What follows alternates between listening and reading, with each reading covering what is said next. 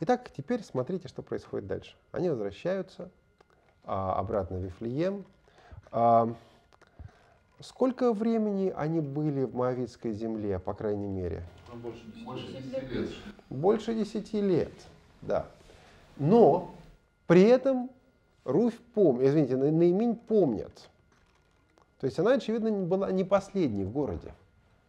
Весь город пришел в движение от них и говорили, это Наиминь. Она сказала им, не называйте меня Наиминью, а называйте меня Марою, Горькой. Потому что Вседержитель послал мне великую горесть. Только нужно помнить, кстати, вот еще вот какой момент, я только что сказал, весь город пришел в движение. Город-то был небольшой. Это не Москва, это не Курск, это село, деревня по современным масштабам. Но все равно то, что они ее знали, было важно. Значит, горесть у нее откуда? От Бога. Я вышла отсюда с, с достатком, а возвратил меня Господь с пустыми руками. Зачем называть меня наименью, когда Господь заставил меня страдать, и Вседержитель послал мне несчастье. Значит, смотрите, она говорит теперь, что она вышла отсюда с достатком. В начале книги мы узнали, что она вышла, потому что был голод. И все же теперь, по сравнению с тем, что с ней происходит сейчас, она понимает, что тогда, однако, был достаток. Был муж, были дети. А, и вот такая, знаете, относительность, да? Она говорила, а нам кушать нечего. Они пошли в чужую землю. Теперь, упав еще ниже, она понимает, что на самом деле тогда-то был достаток. Это э, как-то в интернете видел такую типа подписи шутливые, знаете, бывают иногда под письмами, под постами в форму, формах и так далее. Э, вот, и там такая подпись. Я думал, что упал на дно, снизу вдруг, когда снизу вдруг постучали. То есть Оказывается, можно было и глубже. Вот она это понимает. И все, что с ней происходит, она э, относит на счет Божий, что Бог с ней это сделал. И возвратилась на имени, с нею сноха ее, э, Руфь Моавитянка, пришедшая с полей Моавицких. И пришли они в Вифлеем в начале жатвы ячменя. И вот тут, с этого момента, начинается возвращение, начинается а вот та цепочка, а, которая распалась, которая разорвалась, начинает восстанавливаться. То равновесие, которое было нарушено уходом от Бога, начинает восстанавливаться. Вообще в иудейском сознании на самом деле все очень просто. Чем ближе к Богу, соответственно, чем ближе к Иерусалиму, к Иудее, тем светлее, тем лучше, тем безопаснее. Чем дальше к Богу, тем страшнее, тем тяжелее, тем опаснее. А еще иудеи времен Иисуса Христа жили именно так. Нужно было прийти в храм на праздники. Нужно было устремляться к Богу, нужно было посещать Иерусалим. Вот здесь Бог, там Гоим. Что такое Гоим на иврите? Изгои по-русски, язычники. Вот эти народы, там опасность, там враги, там тьма. И, кстати говоря, понимая вот, эту момент, этот момент, смотрите, как Иисус изменяет само мышление. Он говорит, вы будете мне свидетелями, начиная отсюда, Иерусалиме, Иудее, в Самарии, и до края света, значит, до края земли. То есть теперь не будет вот этого э, Иерусалима центричного мира – Теперь каждый из нас будет храмом Бога живого, и теперь Евангелие пройдет до края земли. А дабы не держались за Иерусалим, он будет разрушен. А ученики Иисуса Христа, мы с вами, христиане, пойдем до края света. Но вот это уже новозаветное понимание, да, что Евангелие действует до края земли, Евангелие действует через Духа Святого, который работает в нас с вами, а Евангелие проповедуется через нас с вами, а тогда ближе к Иерусалиму, значит ближе к Богу дальше к Иерусалиму, дальше от Бога. Вот а, возвращаются они в данном случае в Вифлеем, и начинается новая глава, новый этап. Что говорится о в Ваозе, как, как он характеризуется не только в начале главы, но и на протяжении всей второй главы. Давайте посмотрим, попытаемся выделить, вычленить все места, на основе которых мы можем нарисовать портрет Ваоза. Пожалуйста. Знатный человек. Сначала знатный. Угу. Родственник по мужу, что очень важно. Потом будет.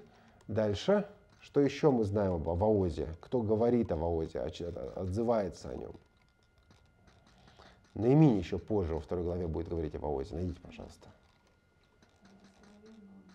Так. Благословен от Господа. Угу. То есть, очевидно, он был еще и, да, он был знатным человеком. А в четвертой главе он у ворот города, он встречается с этим самым родственником, искупителем, который так и не стал, не сделал. Да, а, и он известен, он благочестив. Иногда книгу Руфь воспринимают как такую голливудскую такую киношку. Приходит, значит, намазавшаяся, накрасившаяся Руфь, соблазнить пьяного вооза. А вот, понимаете, такой бред может прийти только в голову, испорченную грехом. Потому что, когда мы читаем Священное Писание, во-первых, мы видим, что Ваос благочестивый. во-вторых, мы видим, что она не соблазняет его. Она просит у него заступничества. Она просит у него а, выполнить некоторую функцию, которую он, как родственник по мужу, как мы уже сегодня сказали, должен был бы выполнить. Ну и в-третьих, речь идет о совершенно другой культуре. А, это не Россия или Америка, Европа 20-21 века. Итак, а, о Ваозе мы знаем, что он благочестивый, что он родственник по мужу, а, что он богатый человек. У него были слуги, служанки, у него было поле. В общем-то, не последний человек в смысле почета, известный у ворот. Итак, она, значит, почему Руфь решила а, пойти к нему на поле. А что она ему посоветовала? Что она посоветовала ей? На, сам, на самом деле нет. Значит, второй стих, посмотрите, пожалуйста. И сказала Рух Моавитянка Наимини, угу. пойду я на поле и буду подбирать колосьям по следам того, у кого найду благоволение. Именно Вооза? Нет, у кого найду благоволение. Нет. А почему она, э, откуда у нее вообще эта идея появилась идти подбирать на поле? Что там по закону Моисея должно было быть? Да, это был вариант социального обеспечения тех времен.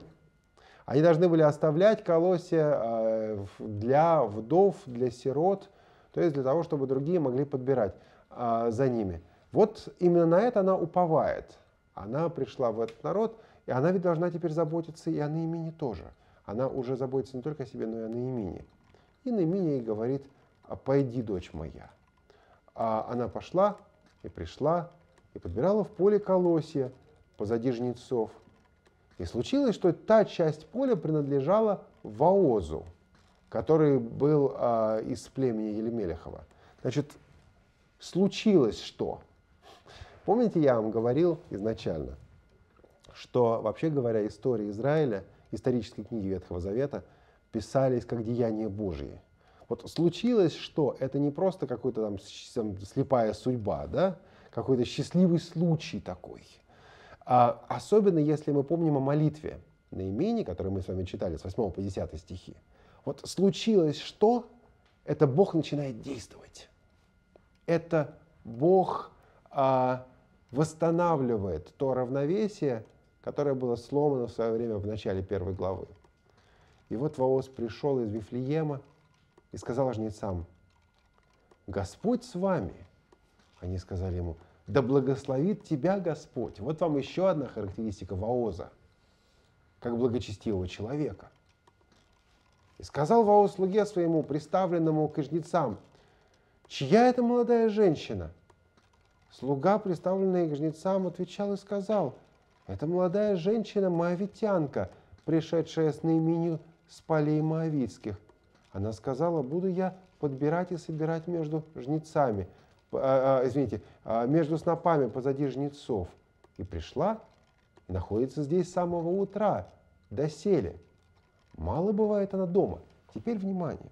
Скажите, пожалуйста, вот эта работа, собирать в поле за жнецами с утра, с самого, самого утра, и вот, говорит, мало была она дома, что свидетельствует, как свидетельствует вот это описание о Руфе? Терпеливая, трудолюбивая. Знаете, я никогда не собирался жнеца, за жнецами, никогда даже был, не был жнецом. Э, скажите, кто из вас видел реально жатву, или, может быть, даже участвовал в жатву в полях? Жатву? Но они, яч... они ячме... А чем?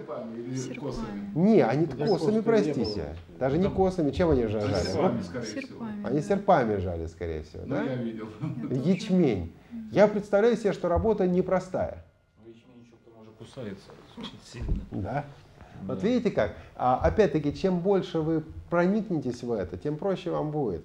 А, вот, Руфь ведь не в, понимаете, в магазин била, ходила за, за хлебушком. А, вот, ей нужно было поработать. И, в общем, она в данном случае добытчица для семьи. И сказал Ваос Руфи, послушай, дочь моя, не ходи подбирать на другом поле. И не переходи отсюда, но будь здесь с моими служанками. Пусть, внимание, пусть в глазах твоих будет то поле, где они жнут, и ходи за ними. Вот я приказал слугам моим не трогать тебя. Когда захочешь пить, иди к сосудам и пей, откуда черпают слуги мои. И она отвечает очень интересно. Она пала на лицо свое и поклонилась до земли и сказала ему, чем снискала я в глазах твоих милость, что ты принимаешь меня, хотя я и чужеземка. Ваос, проявляя, проявляет принятие чужеземки. Он при- принимает чужеземку. А до этого, какие случаи принятия чужеземцев мы видели в этой книге? Один описан, другой ну, не описан. Нет, в этой книге. А, в В Моаве принимает Неемень с мужем и В семьей. Мааве, да, мавитяне принимают а, Руфь, а, извините, принимают а, Наиминь а, с мужем. Сама Руфь принимает конкретно своего мужа чужеземца. А, и потом уже в первой главе Руфь говорит, мой, а, твой Бог будет моим Богом, твой народ будет моим народом. То есть это принятие чужеземца уже есть. Скажите, пожалуйста, а вот как принятие чужеземца а, отражается потом в истории спасения, принятие чужеземца и служение Иисуса Христа? Принятие чужеземцев и народцев и служение Иисуса Христа. Вы уже не чужие. Да? Нет ни иудея, ни эллина. То есть потом а, жертвенная смерть Иисуса Христа, искупление Иисуса Христа, это тоже принятие чужеземца. Мы с вами те самые чужеземцы. В каком-то смысле каждый из нас та самая Руфь, которая оказывается принятой у Бога. Вот вам тоже телескопическое чтение книги, пере- Библии, перебрасывание мостиков. Воос отвечал и сказал ей, мне сказано все, что сделала ты для свекрови своей по смерти мужа, своего, мужа твоего, что ты оставила твоего отца и твою мать и твою родину и пришла к народу, к народу, которого ты не знала вчера и третьего дня. Да воздаст Господь за это дело твое, и да будет тебе полная награда от Господа Бога Израилева, к которому ты пришла, чтобы успокоиться под его крылами. А теперь обратите внимание на его молитву. Слушайте, иногда так помолишься, а потом Бог говорит, «А теперь действуй, дорогой. Итак, о чем помолился в этот момент Ваос конкретно?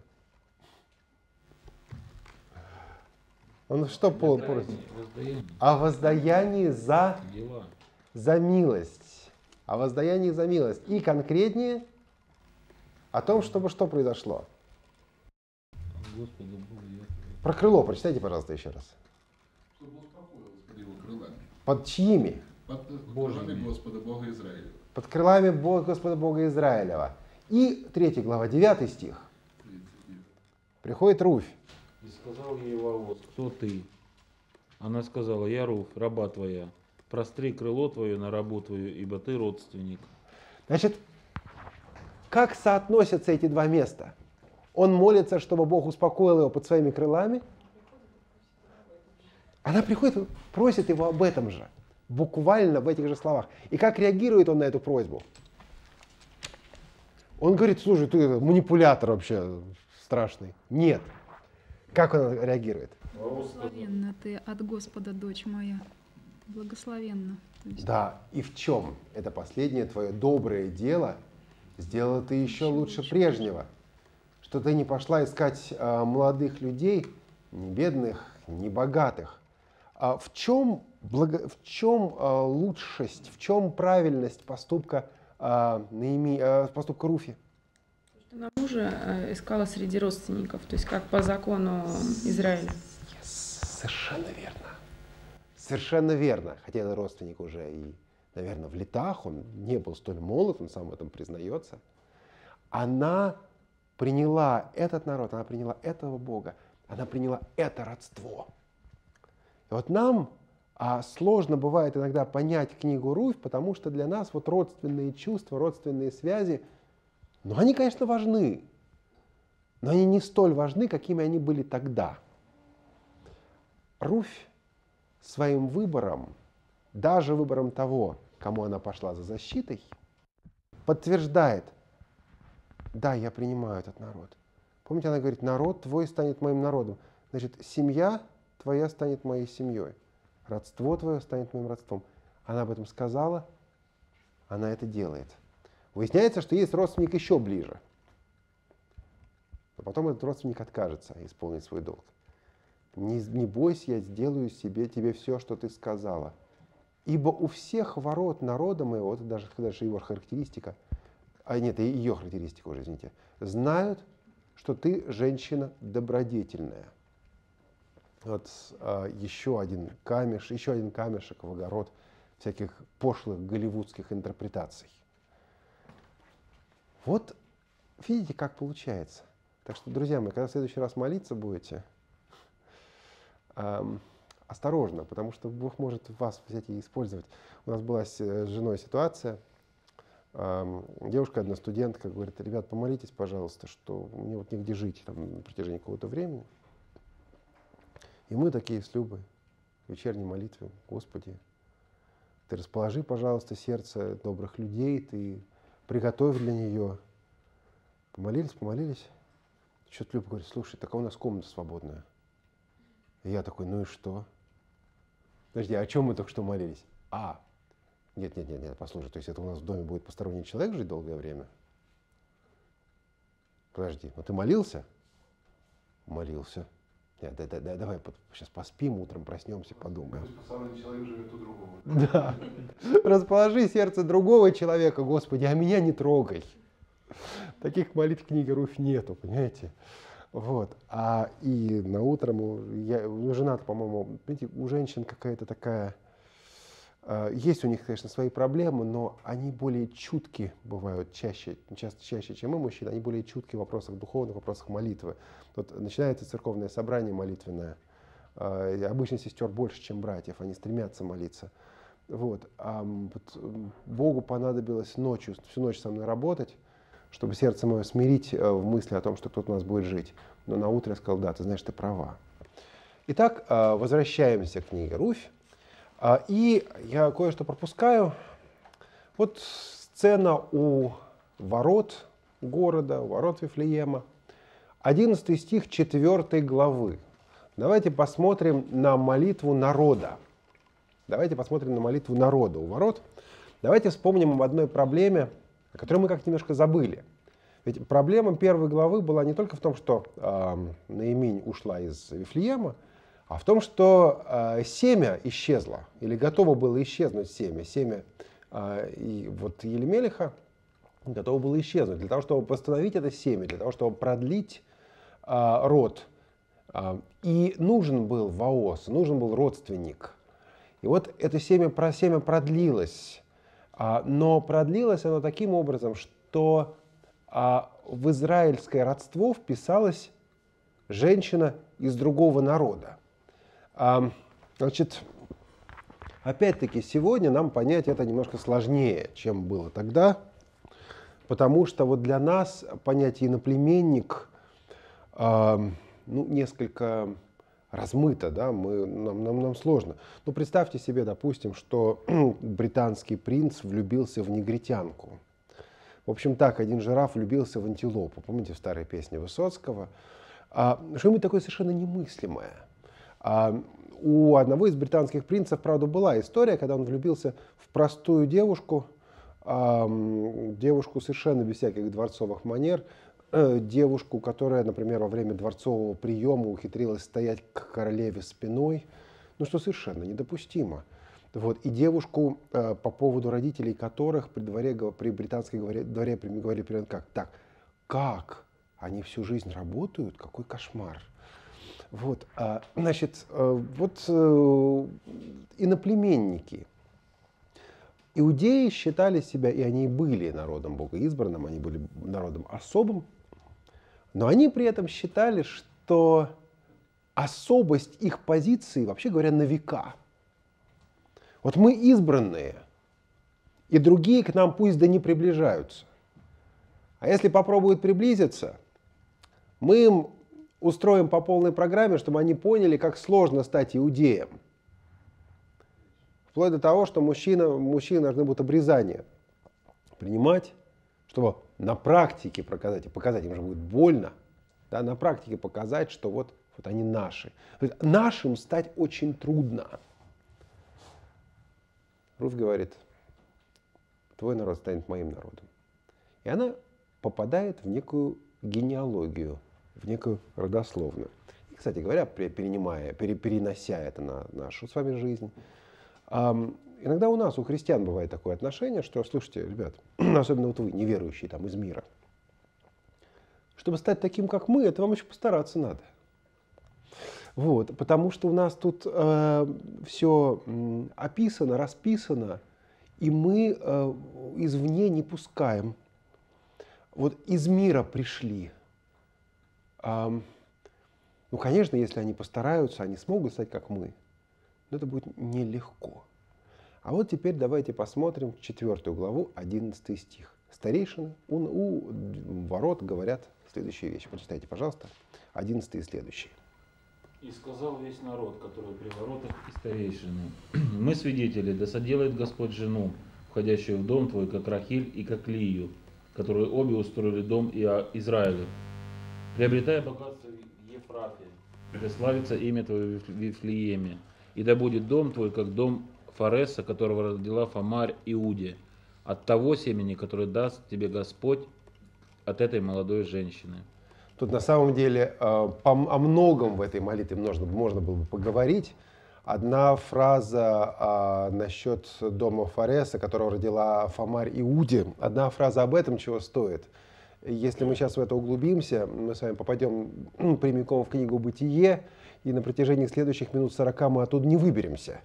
А, вот, на, на досуге, если не помните, на досуге посмотрите сами, что здесь происходит. Но они просят, они молятся и благословляют а, Руфь, и они молятся о том, чтобы через Руфь устроялся дом Израилев, чтобы Руфь была участницей домостроительства – а дальше начинается молитва, а ответ на эту молитву. И взял Воос Руфь, и она сделалась его женою, и вошел он к ней, и Господь дал ей беременность, и она родила сына.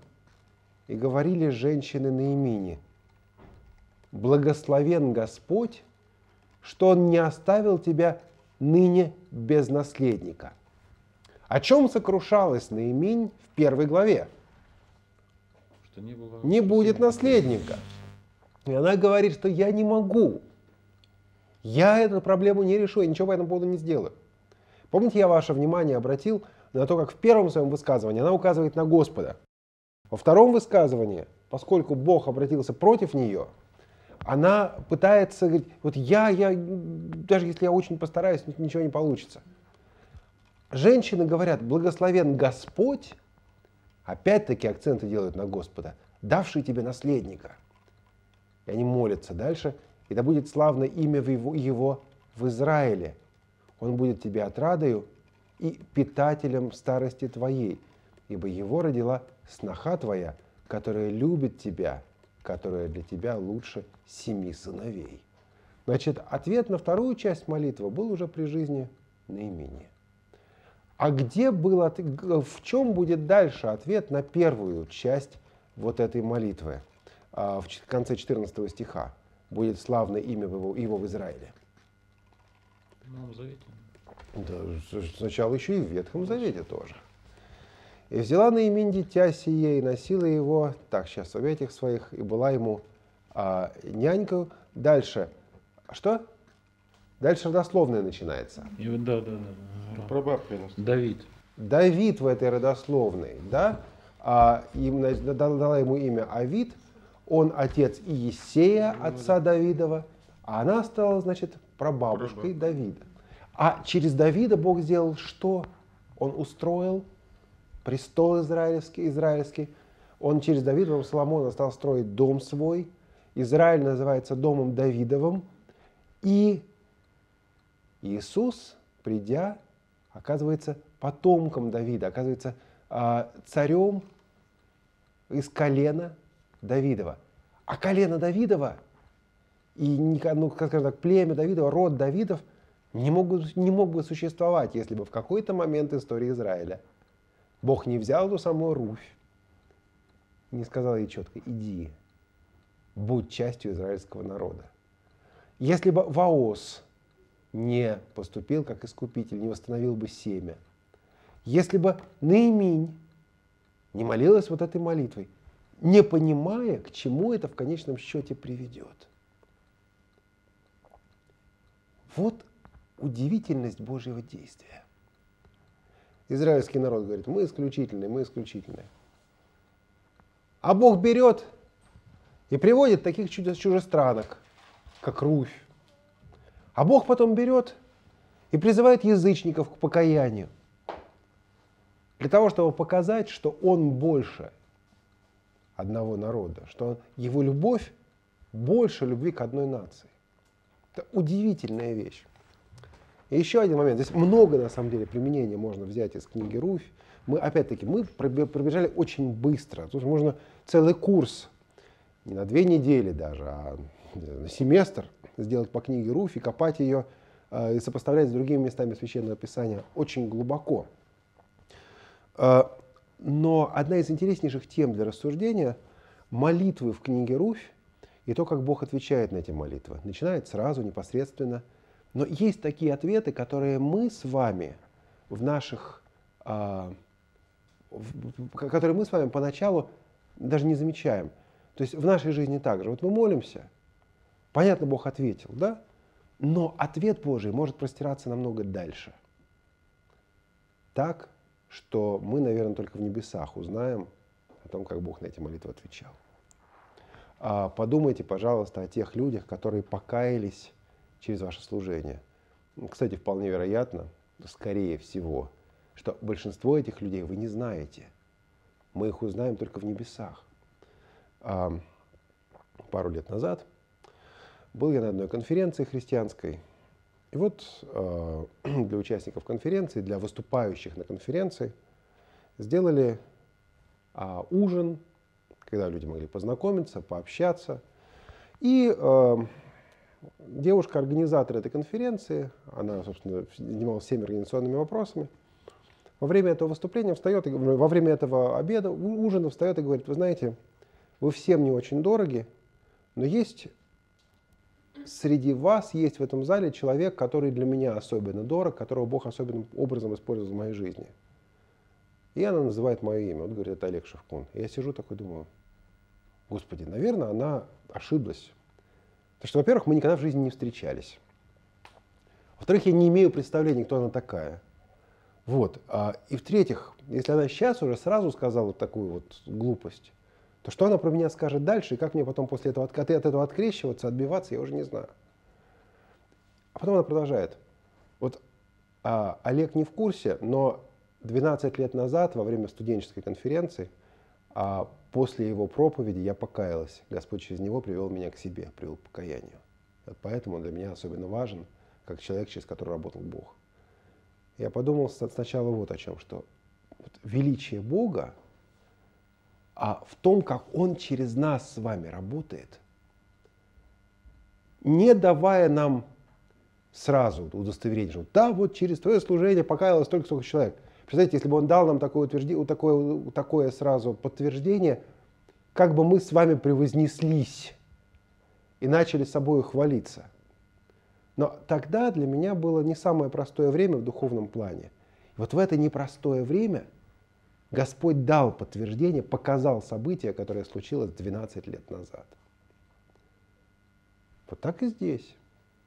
Наиминь в горести своей начинает с молитвы, мощнейшая, сильнейшая молитва Наимини, 8-9 стих 1 главы. Ответы на эту молитву начинаются уже к концу первой главы.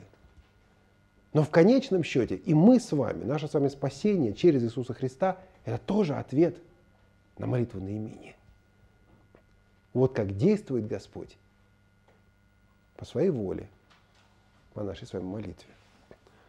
Вот, друзья мои, а, всего лишь несколько моментов по книге «Руфь». А вообще говоря, соберите малую группу в церкви.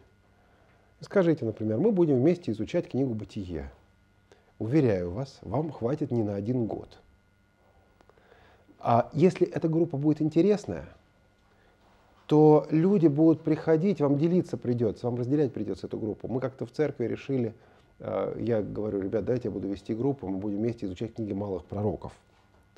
Вот сначала э, почти никто не пришел, потому что само предложение изучать книги малых пророков людей испугало. Да, ну как, ну а что, а когда вы последний раз читали Амоса, допустим, а, вот, или Осию, а потом, после первых занятий, Люди увидели, что интересно, люди увидели, что полезно, люди увидели, что Господь работает. И стали приходить в группу люди больше, чем мы даже могли принять. Вот а, Слово Божие совершает свое действие. Но наше дело не препятствовать, наше дело давать такую возможность Слову Божию действовать в нашем сердце и сердцах других людей.